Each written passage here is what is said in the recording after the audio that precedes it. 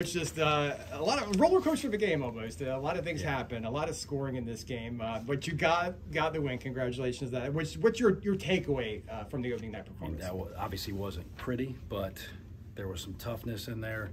And you look at that thing, like we didn't walk a guy, we didn't make an error. We had the one miscue on a bunt, but if you walk guys in that situation on a night like tonight, and you kick the ball around, and this they could have scored 20 runs. Um, and for us to give up the runs and then bounce right back and score every time but once, and I think the one time we didn't score, we had bases loaded, one out with the right guys at the plate. It just didn't happen. Jack said you used the word gritty. Is that how you describe what you saw tonight from your team? One hundred percent. Like they could have bagged it in a couple times. Um, when you when you come back and then you tie it and then you lose it again, and then you take the lead and they come back and, and do that stuff. I mean, it's it takes some mental fortitude to do it, and that was nice to see. I mean, just you- talk about that eighth run, the eighth run, sixth inning. What's Mm-hmm. the, what's the energy like, and what's what's going on? Well, I think that every, once you get that thing going, the rhythm of the offense, like those guys kept rolling and rolling and just passing the baton to the next guy, and that was, I mean, that's it's as good as a dugout can get right there. Rich, did you have any uh, nerves tonight? I mean, yeah, obviously, I mean, what was it like? I, I talked to your wife; she seemed nervous for you as well. I mean, Oh, she's nervous all the time. So, um, but yeah, of course, like when you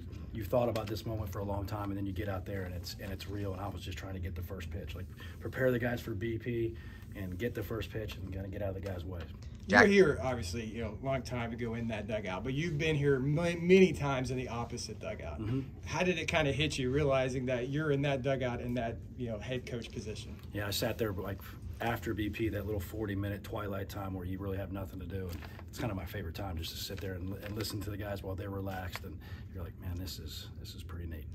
Jack, Jack talked about your defensive MO and how that played a part tonight. Bryant, of course, gave up three errors, ended up proving costly with uh, with the runs they gave up. How big is de- this defensive performance for you, especially since you guys gave up? Yeah, when you have a chance to get outs that are average to above average plays, and we made a couple above average catches in right field and in center field, like to take those and pull them back and put them on your side, it makes you hard to score on on that part. So when the ball's flying out of the yard and you don't handle the baseball, like you're you're going to be in trouble. How about Jack tonight?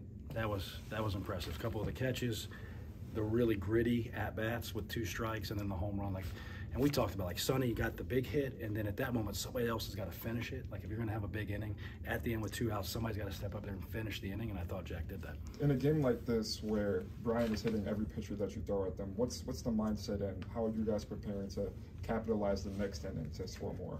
Well, I think it's just the ebb and flow of the game, right? Like you, they score, we score. Just handle it. Try to treat every inning as its own, as its own little game, and stack up how many times you can win innings, and then get back out there and and, and do that. So How talk about that.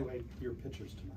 Well, I think you saw a lot of good stuff. We'll go back and look at the video, but there were some big punch outs and big moments, and I think we could. Obviously, there's some pitches you want to take back. Like, was it the right pitch? Probably was. The location wasn't. I think all those guys have capable stuff. I mean, you saw from Galvan. I gave up the hits, but like there are some moments in there where it's really, really good. We're just trying to get that consistent, and we've seen it. Like it's first time out there for him in this situation too. After Bryant tied in the eighth, talk about how you were execute offensively. Cedarburg laid down a perfect bunt, just were able to manufacture that go ahead Yeah, and it starts with Ziska with the hustle double, and we get out there, and I mean, Matt Cedarberg's been sitting on that bench since BP, and for him to go out there in that situation, first pitch, roll it down as good as you could roll it out, and then Braden Cleese came off the bench in a tough at bat with two strikes, and we knew that was going to happen. Like there was no doubt on anybody on that bench that Braden Cleese was going to put the ball in play. Um, he he's one of the grittier guys too. What's your approach when you have have a back and forth game like this, where you have, for example, between that middle of the sixth inning where you guys were down, down, or when after a cut that they made that comeback in the seventh? Approach as far as Just as far as like, what do you tell the team? Do you tell the team anything? Just or No, just, just stick with it. Like it's the game's going to go like this. It's one of those nasty Friday night college baseball games that you're just going to have to keep playing and keep playing. And when you get your opportunity, make it make it count. First game of the season, gritty game, ugly game, Mm-hmm. but a win. What is that? What did you like most from your guys tonight? They just stuck with it. Like that was from from pitch one. They were in it. They they, they adjusted on the fly. They handled adversity. Um, it, wa- it was fun to watch. How Would you it setting the the tone? communication tonight? Uh, you had some moments with the third base coach, with some goes and some stops. Yeah, and I, and I think when you go back and look, it's easy. I've done it, right? I did it for a long time. When you look at it and you see the throw, you're like, okay, maybe he could have scored, but I know exactly what he's thinking. Like it's two outs, and I got Lex Bodicker coming to the plate and Sonny, and I'm not going to run us out of an inning. Um, if it looks good, he probably would have sent him, but we scored eight runs in that inning, so that's if one of those guys get thrown on the plate, how many runs do you score? Two, th- 2,602 people were in the stands watching this one tonight. What is, how do you compare tonight's uh, atmosphere with some of the atmospheres that maybe you experienced as a player or as an assistant? in this years ago? place, in that dugout, the feel of that is as good as any anyone that I've ever been in. I've been in some big ones, but the feel, the way the stadium works, the way the crowd noise amplifies on the field, it's as good as it gets. Obviously, first of many, but how does it feel to set the tone on the season with this win being as gritty as it was? No, it's great. Like that's we we've talked about that. Like we sat in this room at 3:30 and talked about we didn't know how it was going to happen, what it was going to take. You just got to stick with it, and when that opportunity comes, be ready to capitalize, and, and they did that. Did your players prove something to you tonight in their, their performance? Um, I think, I mean, I've seen that. I've seen that from the way they went about their business in the weight room to the classroom to the practice. Like I've been pro- maybe confirmed a little bit.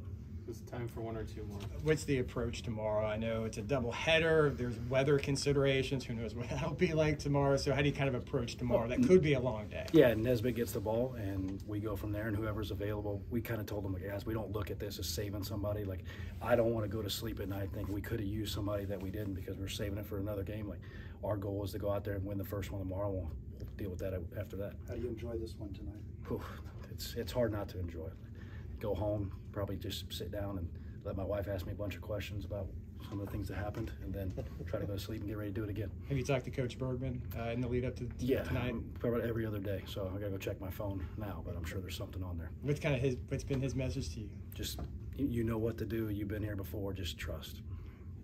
Okay. Awesome. yeah, Good luck thanks, tomorrow, Thank you, guys. Appreciate it. Yes, Thank you, guys.